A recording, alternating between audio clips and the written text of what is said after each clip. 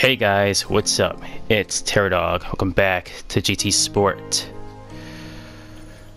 Alright, so I got a special video for today on Christmas Day. And no, it's not a Christmas special. We're doing something different today.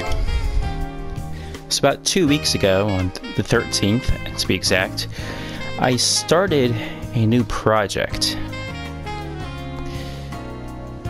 This is a, a project that could be used. Um, how to explain this? The idea is I'm working to create a mobile app that will act as a companion app to this game. The main idea is to bring back the performance points that were used in GT6 and in GT5 to help balance cars. Now, GT Sport already has balance of performance, but that is only within a class.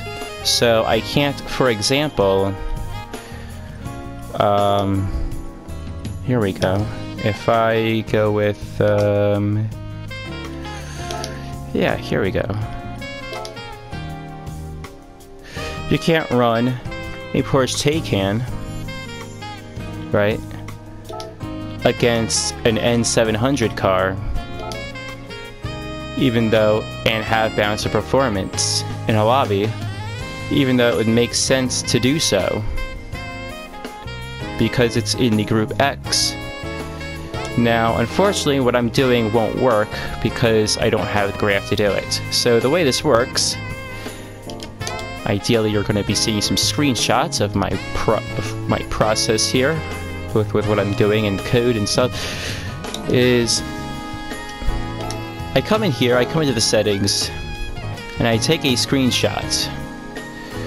And from this screenshot, I can upload the image of this screenshot into a web tool that will reverse engineer the data points in the torque curve. And then I can use that to get the area under the torque curve and I do some fancy math, and between that, the weight, and the aero, I get a number, which is the performance points, or PP, for the car.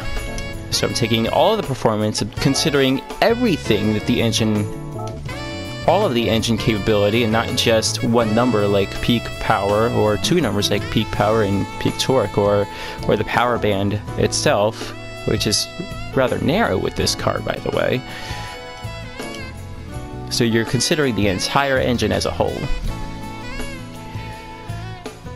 Which, if I understand how it worked in GT5 and GT6, I believe that is what they did. But there's something tricky going on because my scaling isn't working out quite the same and I believe they may have added some other scaling factors to keep everything nice below 1000 instead of having well for example a group 1 car being at like 3000 pp which is exactly what we're going to do. So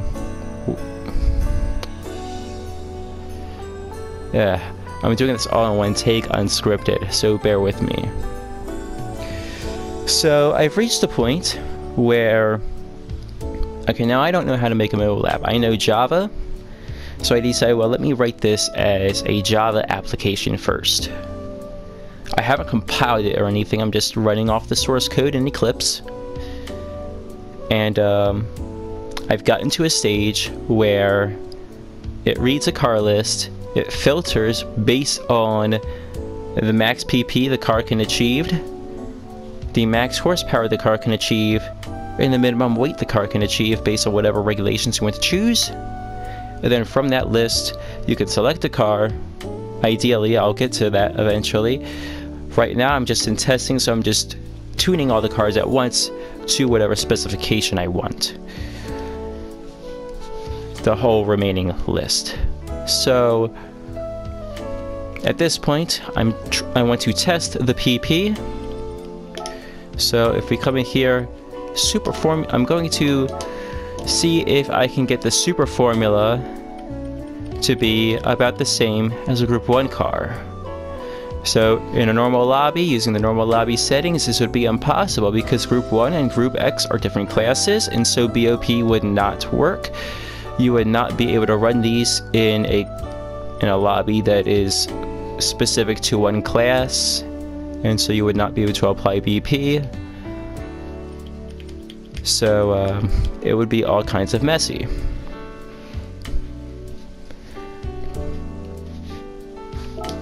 Alright, so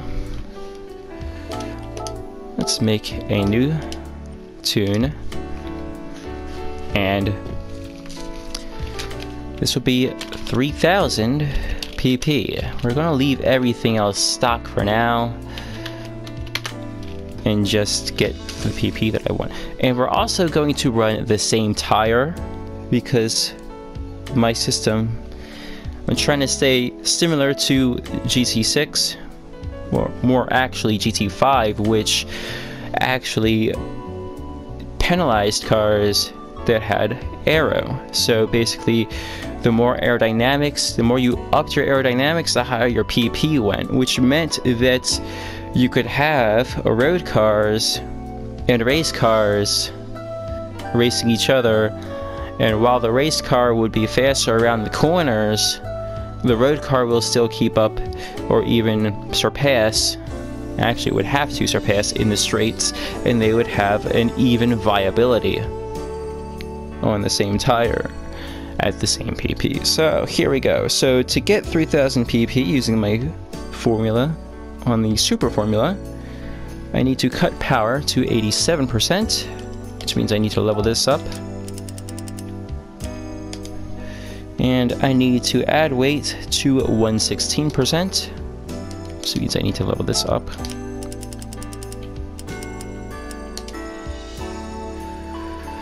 And then for the downforce,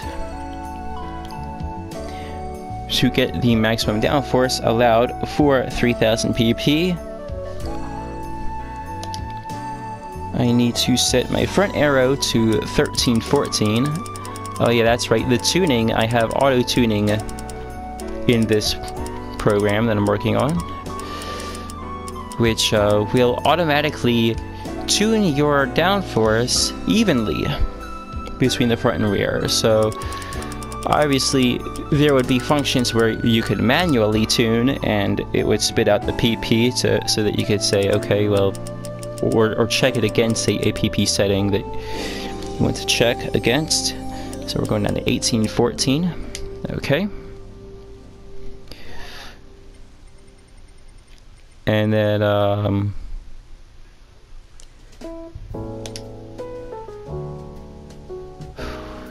do I want to mess with the transmission? I probably should. Just so we can even that out.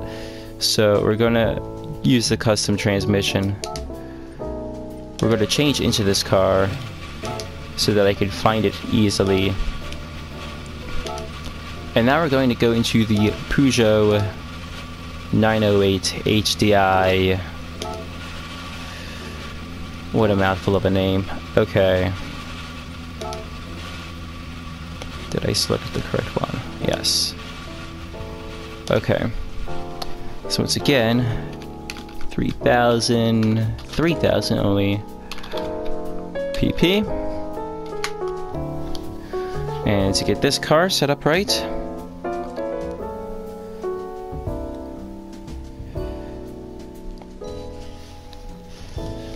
I need to increase power to 119%.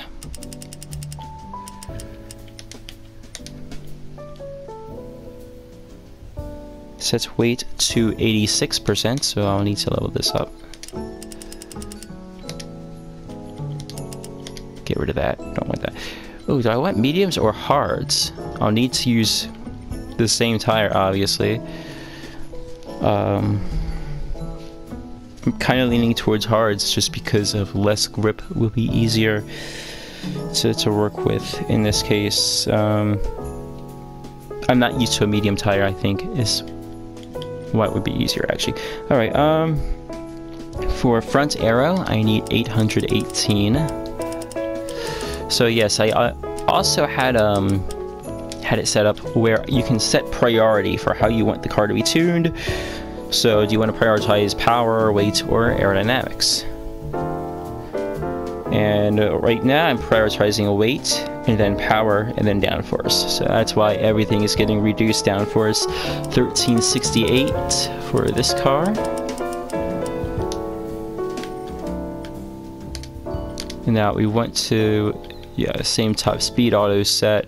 Okay. So, it's time to begin doing some test laps. There. I'm going to switch these to racing hard. And let's just take a look at the graph here on the bottom left.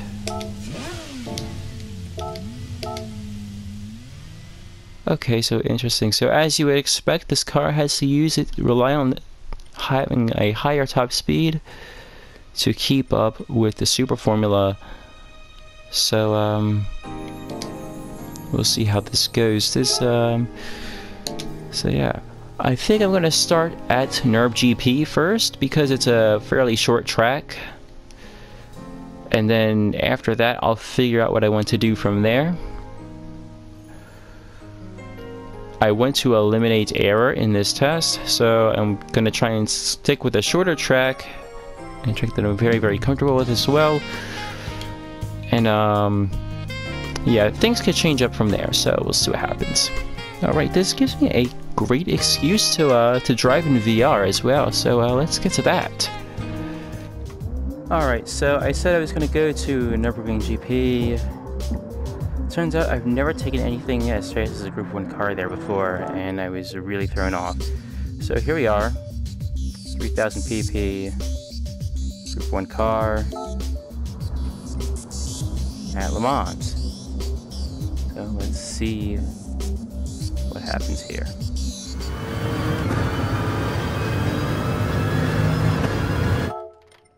Okay, first things first, I've noticed is um, I need to up the transmission setting or up the speed on it. So we're gonna go for we're gonna set to 230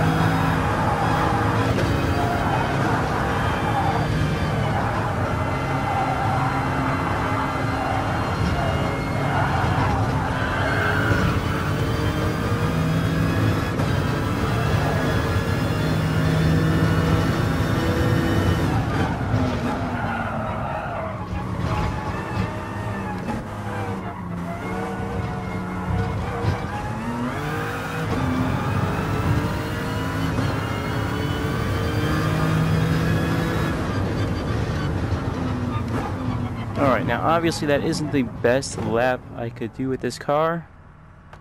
But that's okay. So, now that I have the Ghost, we're going to try and see if I can beat, well, see how close I get to this lap.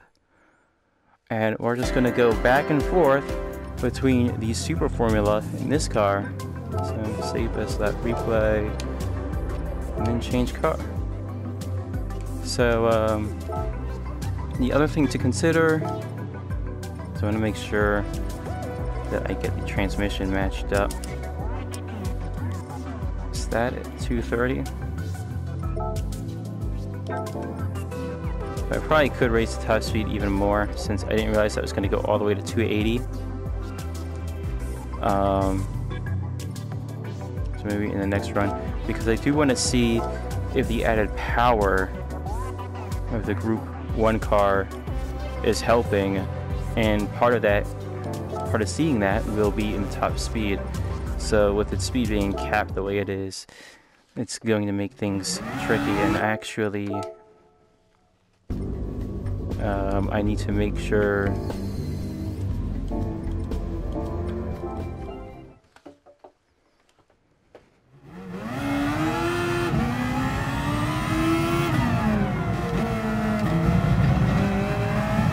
think the halo will get in the way, but it does not because I'm in VR and I have two eyes and there's only one halo.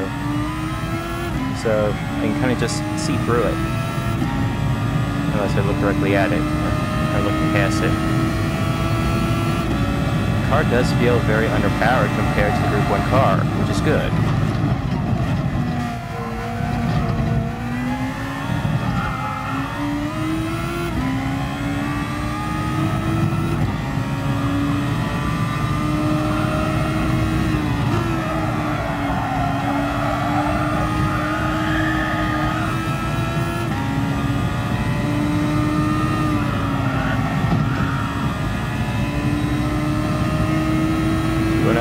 Recovery on the lost time.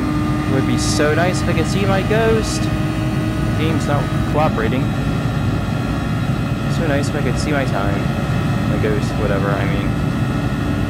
I can uh, see if I'm actually catching up or not.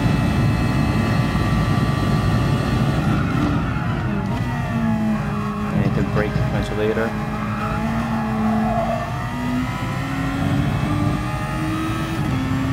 a least I can see what my time is on the wheel.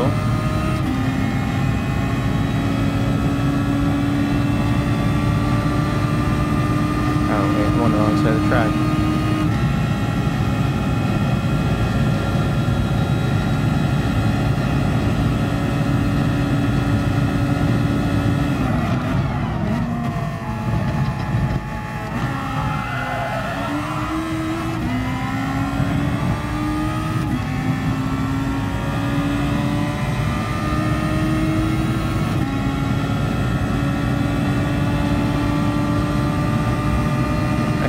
sitting like lower than what I should be. I might reset the, the camera thing. Oh, wow, that speed just dumps off so fast.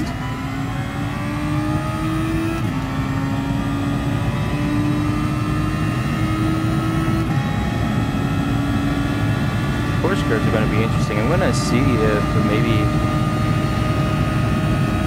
what I should be doing is using a Red Bull, Red Bull braking references in this setup.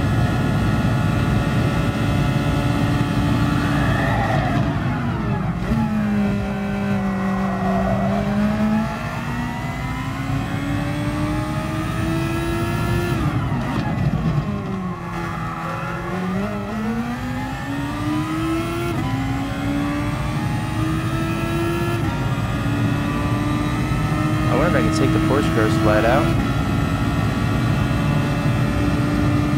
Reset this thing. See if I can go. There we go. That's better. That makes sense.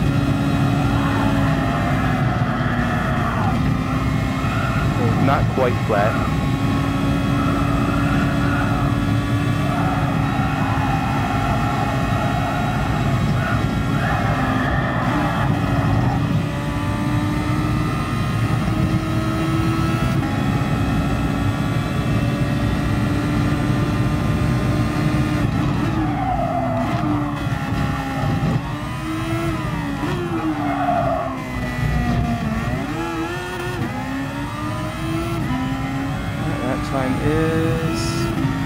that's it's not a 314.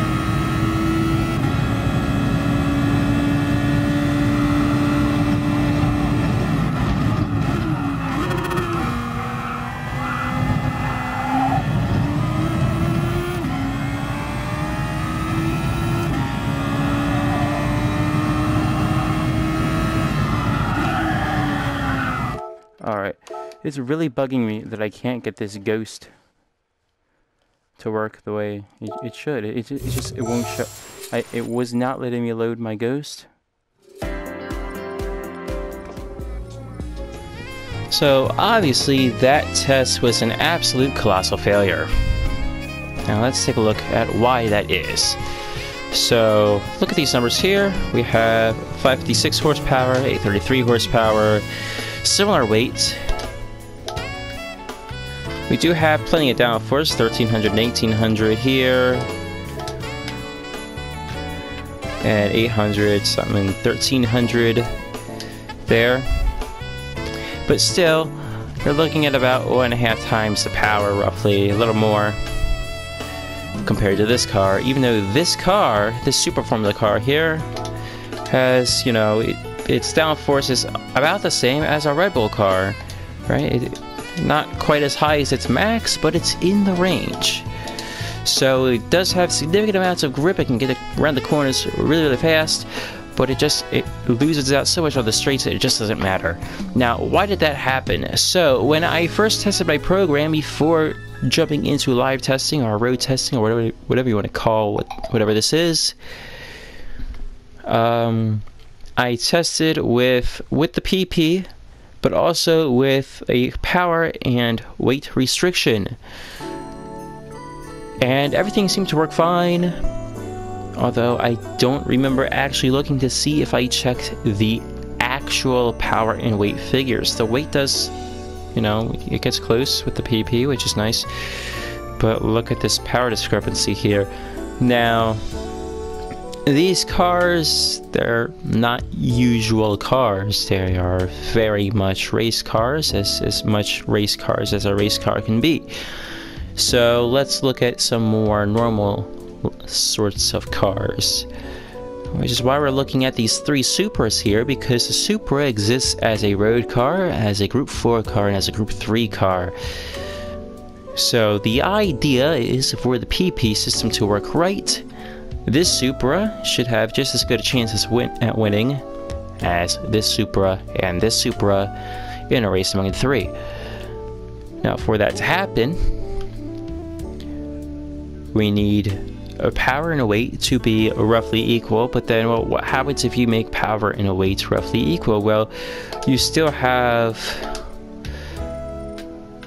all of this downforce to take into consideration from the Group 3 car plus this little bit of downforce, you know, it's kind of a mid ground, but still significant compared to a road car that the Group 4 car has. So the PP system takes the, the downforce into account, and not just the power and the weight. So the idea is to test this, we need to see, well, will I have to drop downforce and drop power and add weight in these race cars enough that this car keeps up with them.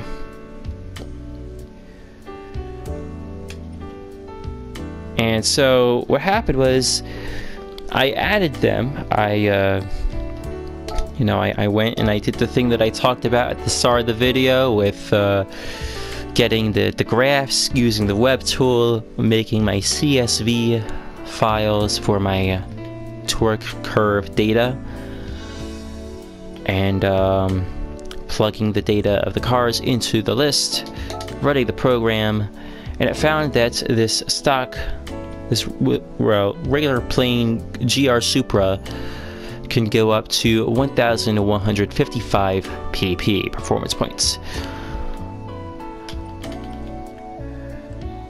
And um, and so the way it worked out is that all of these these Supras should be able to tune to 1000 pp. Now when I ran my program to tune, what happened was and hopefully I'm showing a screenshot here. The um, something went screwy with the code, and it dropped the weight on this to its minimum setting, and it boosted the power all the way up. Now I just said max PP on this car is 1155 and you can see there's no aero so that is calculated without aerodynamics 1155 so we have a problem here where it's tuning to the to its max pp and it's telling me it's at 1000 so I suspect something similar happened with these two so it's gonna be back to the drawing board for now until I can figure out why my numbers aren't working out the way they should be. So I guess this concludes day one. If we can call this that, day one of video documentation of what I hope will be a companion mobile app for this game. Okay. That's gonna do it then. Subscribe if you want to see a continuation of this series. And uh, I'll see you next time. Goodbye.